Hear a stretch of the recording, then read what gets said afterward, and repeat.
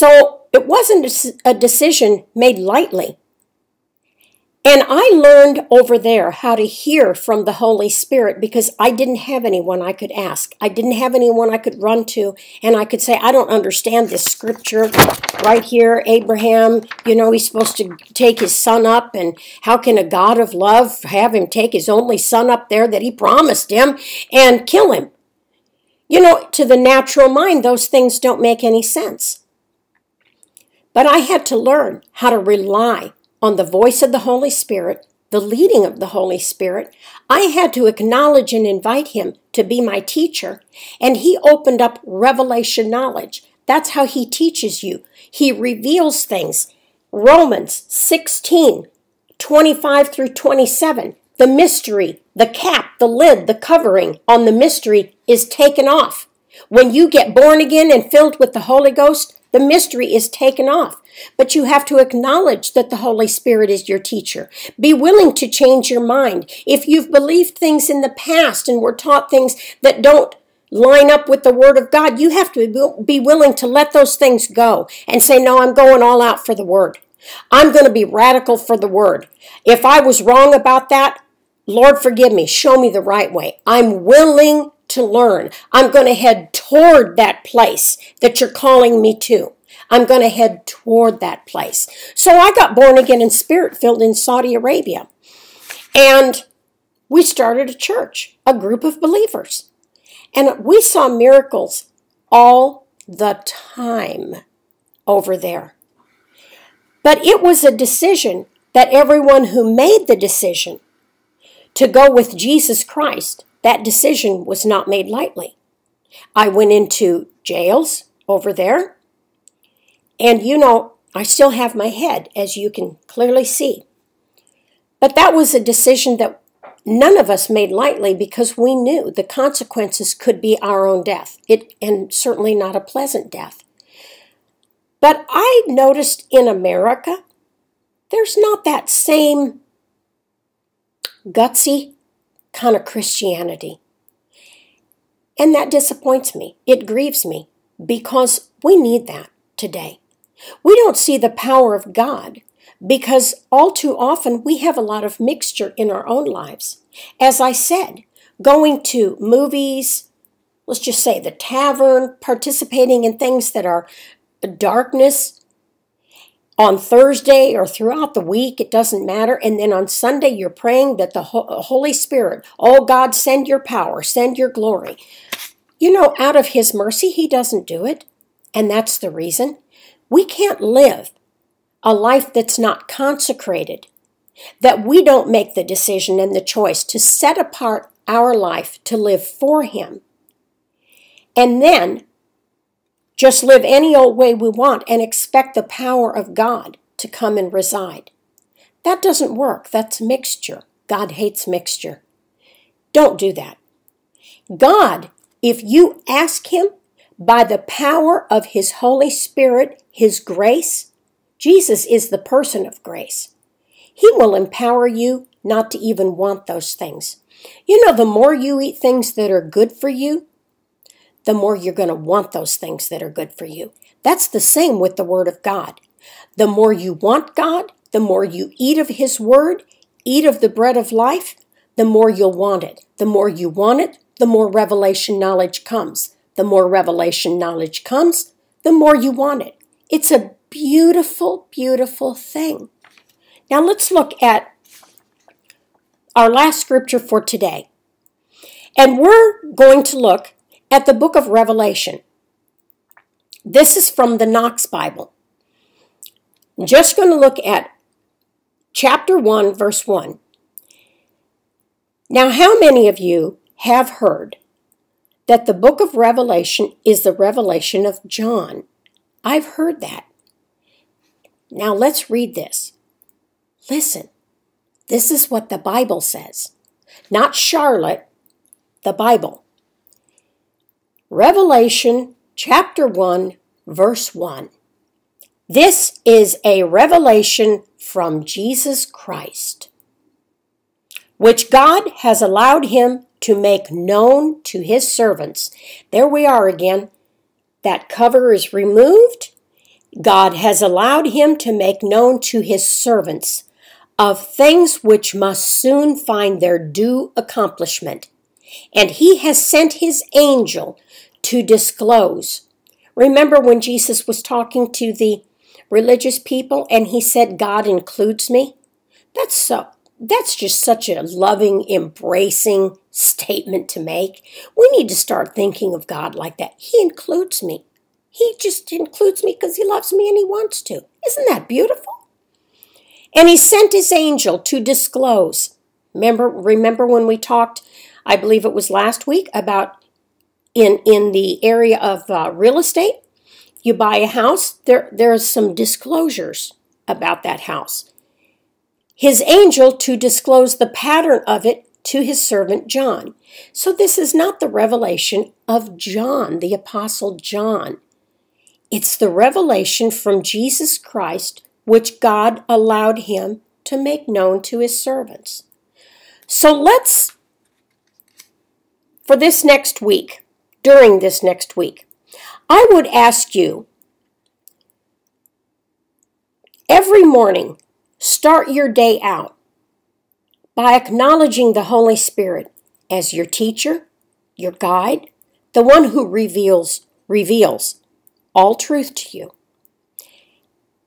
And make it known to him that you are willing to be taught. You're hungry. You want to learn. You want to learn the ways of your Father. You want to be just like Jesus and say, I only do what I see the Father do. I only say what I hear the Father say. You want to be like Abraham. He gives you just part of the instruction and you rise up early, or you immediately respond with obedience to just part of that instruction without having the whole picture. And trusting that as you go toward that place that He's calling you to, that He will give you further instruction and the Holy Spirit will strengthen you. And pray in the Spirit every day. If you're not filled with the Holy Ghost, with the evidence of speaking in other tongues, I tell you these last days, you need it.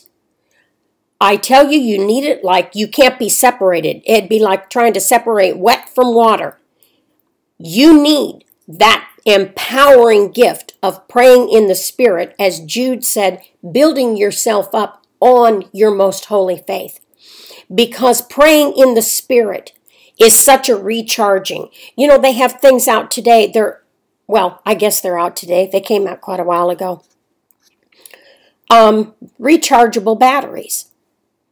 Well, you know, you don't recharge those batteries. You put them in that little recharger, and then when they're all done charging, put them in a drawer. There's usually a plan for that. You, the plan usually is to put them in something so that whatever that is is empowered again because those batteries went in that charger. Well, that's what praying in other tongues does. I tell you, charges you up. You want to stay locked and loaded. In these last days, times are dangerous. You do not want to start your day out without first consulting with the Father, praying in the Spirit, pleading the blood of Jesus over yourself, your family, all that God has entrusted you with, every day and be open. Just be open to whatever he says. Don't put so much importance on understanding, but obedience. Just obey him. Trust in his love toward you. Trust in that love toward you. He loves you. He would never lead and guide you into anything that would be harmful. And we're going to change our attitude of you never know what God is going to do. Everything happens for a reason. No, we're going to start connecting the dots. If I make a bad decision, I could perhaps have a bad consequence. Do I want that? We're going to think about these things. Start to really give them some thought, like we all did in Saudi Arabia before we gave our life over to the Lord. We knew it could cost us our life. That's, that's very true. So it's not something that none of us any of us did flippantly. So this week, start your day out living from the inside out. Look internally. Look unto Jesus. The kingdom of God dwells within you. Become more and more dependent upon the Holy Spirit. And by doing that, you will become less and less attached to the world. Start eating the Word of God. The more you eat the Word of God, the more your palate acquires a taste for the Word of God. And you will lose the taste of what the world has to offer.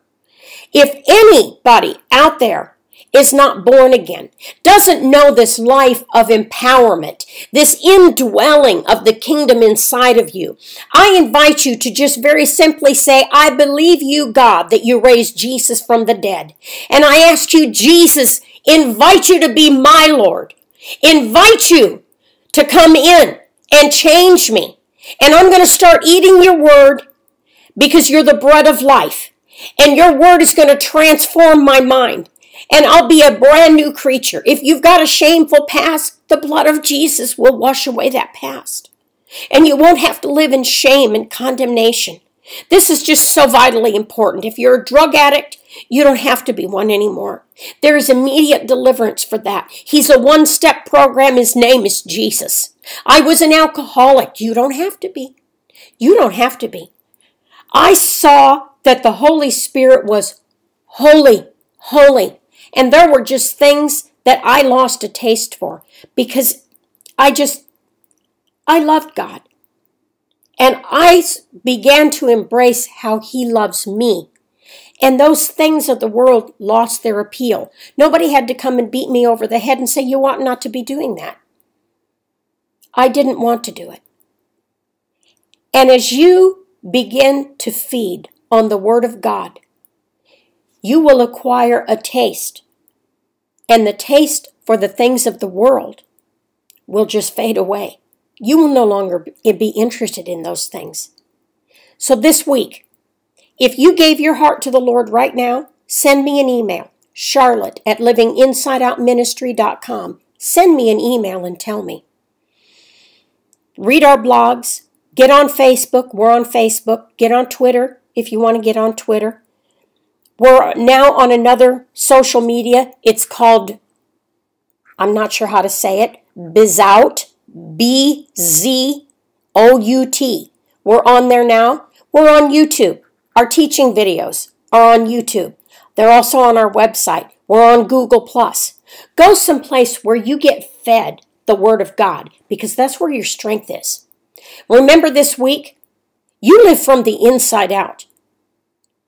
Always, every day, no matter what storm, you live from the inside out. Draw from the kingdom that dwells within you. God bless you. I will see you in a week, if not earlier.